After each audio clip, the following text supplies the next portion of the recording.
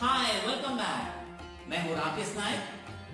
पिछले वाले वीडियो में हम एडम्स थ्योरम और एडम्स थ्योरम और आइडेंटिटी यूज़ करते हुए इक्विवेलेंस ऑफ़ रेगुलर एक्सप्रेशन को कैसे प्रूव करें, वो हम देख चुके हैं। आज की वीडियो में हम एडम्स थ्योरम को यूज़ करके अगर डीएफए दिया है तो उसका रेगुलर एक्सप्रेशन कैसे जनरेट करें, वो सीखने वाले लेकिन इससे पहले कि हम शुरू करें, एक छोटा सा इंफॉर्मेशन शेयर करना चाहूँगा।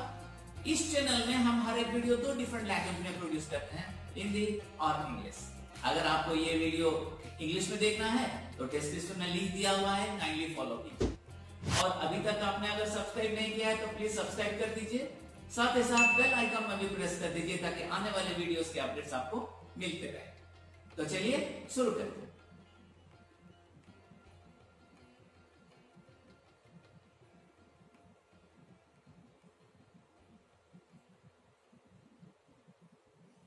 तो इससे पहले कि हम शुरू करें तो चलिए देख लेते हैं एडम्स थ्योरम क्या कहता है। अगर हमारे पास P और Q दो रेगुलर एक्सप्रेशन हैं और P में एप्सिलॉन नहीं है, इसका मतलब उसमें नल स्ट्रिंग नहीं है, और हमारे इक्वेशन जो है R equal to Q plus R P form में है तो इसका एक यूनिक सोल्यूशन रहेगा जो कि R equal to Q P star होगा। इसका प्रूफ जो है, हम पिछले वाले वीडियो में देख चुके हैं। और जब हम एडम्स थ्योरम को यूज़ करते हुए डिटर्मिनिस्टिक फाइनाइट ऑटोमेटा से रेगुलर एक्सप्रेशन जनरेट करते हैं तो कुछ एक एजम्पन्स हैं। पहले वो एजम्पन्स देख लेते हैं। तो पहला एजम्पन ये है कि जो ट्रांजिशन डायग्राम है, उसमें एप्साइलॉन नहीं होना चाहिए। सेकेंड एजम्पन ये है कि एक ही इनिशियल स्टेट होना चाहिए। और हम एडेंस थ्योरम को रेगुलर एक्सप्रेशन फाइंड करने के लिए जब हम यूज़ करते हैं तो डीएफए पर ही यूज़ कर सकते हैं। तो ये रहे उसके स्टेप्स हम इसको कैसे फॉलो करने वाले हैं। लेकिन इसको कुछ देर बाद देखेंगे। पहले एक एग्ज़ाम्पल देख लेते हैं, उसको समझते हैं, फिर आके इसको अगर हम डिस्कस करेंगे तो आपको अच्छे से समझ में आएगा। तो ये डीएफए हमको दिया हुआ है। तो फ़र्स्ट स्टेप हम ये करने वाले हैं कि इसका स्टेट इक्वेशन निकालेंगे स्टेट इक्वेशन मतलब क्या है? हर एक स्टेट को दूसरे स्टेट से हम कैसे पहुँच सकते हैं? जैसे कि यहाँ पर स्टेट ए है। स्टेट ए को हम स्टेट ए से ज़ीरो ट्रांजिशन से पहुँच सकते हैं, या फिर स्टेट बी से ज़ीरो ट्रांजिशन से पहुँच सकते हैं। देखिए यहाँ पर ए से ए को हम ज़ीरो ट्रांजिशन में आ सकते हैं, या फिर स्टेट बी से भी हम ज़ीरो ट्रांजिशन में आ सकते हैं। और यहाँ पर एप्सिलॉन इसलिए लिखे हैं, ये स्टेट ए एक स्टार्टिंग स्टेट है। इसका मतलब जितने भी स्टार्टिंग स्टेट होंगे, वहीं पर हम एप्सिलॉन लिखेंगे। तो सेकेंड स्टेट के लिए स्टेट इक्वेशन देख लेते हैं। स्टेट बी को हम स्टेट ए से आ सकते हैं वन ट्रांजिशन पे, या फिर स्टेट बी को स्टेट बी से वन ट्रांजिशन पे आ सकते हैं। देख सकते हैं यहाँ पर? स्टेट बी के लिए एक इनकमिंग एज है ए से, जिस पर कि वन लिखा है। इसका मतलब स्टेट बी को हम स्टेट ए से वन ट्रांजिशन में आ सकते हैं, या फिर स्टेट बी को स्टेट बी से वन ट्रांजिशन में आ सकते हैं। ये दोनों इक्वेशन को हम नंबरिंग कर लिए वन और टू तो फ़र्स्ट स्टेप ये करेंगे कि एडम्स थ्योरम अप्लाई करेंगे इक्वेशन नंबर टू पे। तो एडम्स थ्योरम क्या था? एडम्स थ्योरम में ये था कि अगर P और Q दो रेगुलर एक्सप्रेशन हैं और P में नल स्ट्रिंग नहीं है और हमारे equation R equal to Q plus R P format में है तो इसका सोल्यूशन हो जाएगा R equal to Q P star तो इसको अप्लाई करते हैं हम लोग। अगर इसको हम इक्वेशन टू पे अप्लाई करते हैं तो ये बन जाएगा ए वन वन स्टार क्यों? यहाँ पर देखिए, ये वाली जो पार्ट है ए वन ये हो गया क्यू यहाँ पर आर अगर है तो यहाँ पर आर है। तो ये बन गया पी तो क्यू पी स्टार फॉर्मेट में लिखेंगे। तो इसीलिए B equal to A one one star हम लिखेंगे। तो चलिए, ये इक्वेशन थ्री को इक्वेशन वन में सब्सटीट्यूट करते हैं। जब हम इक्वेशन वन में सब्सटीट्यूट करते हैं तो बी की जगह ए वन वन स्टार हम लिख देंगे। तो क्या होगा? A equal to A zero plus A one one star zero plus epsilon यहाँ से हम ए कॉमन लेंगे अगर तो ये इस तरह से नज़र आएगा। और अब भी हम एडस थ्योरम अप्लाई कर सकते हैं।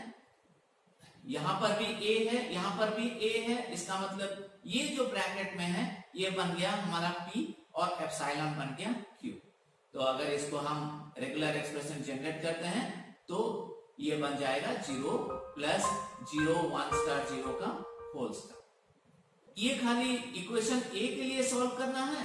नहीं. हम वो इक्वेशन के लिए सॉल्व करेंगे जो कि डीएफए का फाइनल स्टेट तो यहाँ पर इक्वेशन वन जो था इनिशियल स्टेट था और फाइनल स्टेट था. इसीलिए इक्वेशन ए के लिए सॉल्व तो चलिए, इसमें हम क्या क्या स्टेप अप्लाई किए, उसको पहले देख लेते हैं। अगर एक डीएफए दिया हुआ है तो उसको हम रेगुलर एक्सप्रेशन में कैसे कन्वर्ट करें? हर एक स्टेट का हम स्टेट इक्वेशन निकालते हैं। अगर Q1 एक स्टेट है तो Q1 का कौन से ट्रांजिशन हम अप्लाई करेंगे ताकि Q1 में आए? या फिर Q2 स्टेट से कौन से ट्रांजिशन में हम Q1 में आए? इस तरह से हम लिखेंगे। अगर Q1 स्टेट एक इनिशियल स्टेट है तो यहाँ पर हम एप्साइलॉन भी लिखेंगे। तो इसी तरह से हर एक स्टेट का स्टेट इक्वेशन लिखेंगे। यहाँ पर देखिए डब्ल्यू आई जे फॉर्मेट में जो लिखा है, वो है रेगुलर एक्सप्रेशन या फिर अगर क्यू आई से क्यू जे तक एक स्टेट जाता है तो वहाँ पर जो सिंबल लिखा गया है तो उसी को हम डब्ल्यू आई जे लिखेंगे। और ये जो इक्वेशन हमको मिलते हैं फाइनल स्टेट के लिए हम इसको सॉल्व करें। अगर एक पैरेलल एज आ जाता है, हो सकता है कि हमारे डीएफए में पैरेलल एज भी हो। इसका मतलब दो स्टेट के बीच में एक से ज़्यादा ट्रांजिशन अगर ऐसा कंडीशन आता है तो हर एक एज के लिए भी हम एक्सप्रेशन लिखेंगे तो चलिए और एक एग्ज़ाम्पल देखते हैं, ताकि आपको अच्छे से समझ में आ जाए। तो ये हमको एक डीएफए दिया हुआ है। तो इसका स्टेट डायग्राम हम देखते हैं। स्टेट ए को आने के लिए हमारे पास क्या ऑप्शन है?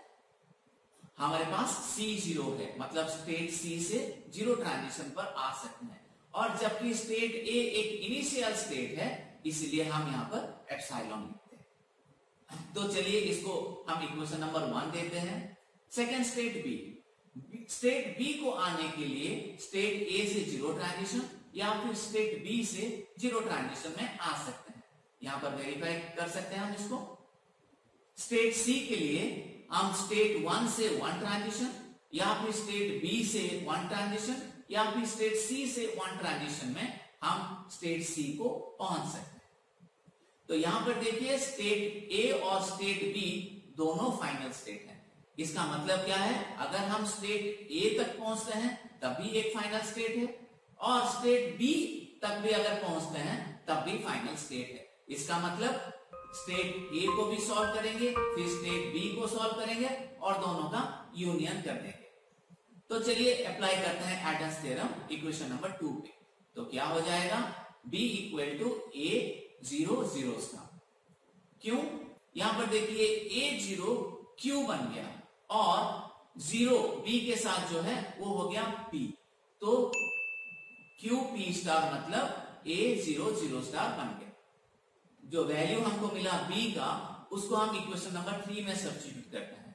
यहाँ पर बी वन है तो यहाँ पर अगर सब्सिट्यूट करेंगे तो क्या बन जाएगा? C equal to A one plus A zero zero star one और उसके बाद सी वन यहाँ पर हम कॉमन ले सकते हैं a तो हमारा इक्वेशन बन जाएगा ये। और अब हम एडम्स थ्योरम अप्लाई करेंगे। एडम्स थ्योरम के लिए ये बन जाएगा हमारा q और सी के साथ जो वन है, वो वन बन जाएगा पी तो क्यू पी स्टार फॉर्म में अगर लिखेंगे तो सी का equation A one plus zero zero star one इसके साथ वन स्टार ये बन गया हमारा एडम्स थ्योरम जो कि वैल्यू बन गया सी के लिए।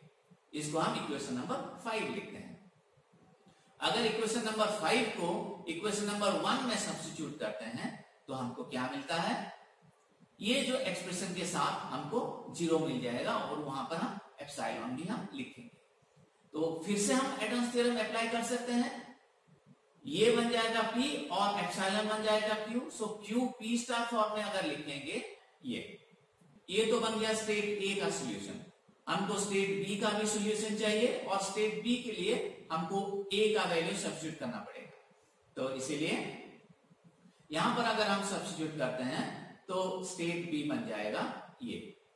ये दोनों सॉल्यूशन को हम अगर ऐड करते हैं तो हमको मिल जाता है ये रेगुलर एक्सप्रेशन आशा करता हूँ कि आपको समझ में आ गया होगा। आप और थोड़ा सा प्रॉब्लम कीजिए, आपको अच्छे से समझ आने वाले वीडियो में हम रेगुलर एक्सप्रेशन से फाइनाइट ऑटोमेटा कैसे कन्वर्ट करते हैं, उसके बारे में तो मिलते हैं अगले वीडियो में, तब तक अपना ख्याल रखिए। बाय